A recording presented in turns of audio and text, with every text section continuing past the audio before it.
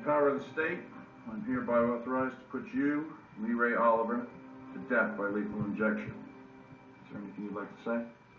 Fuck you!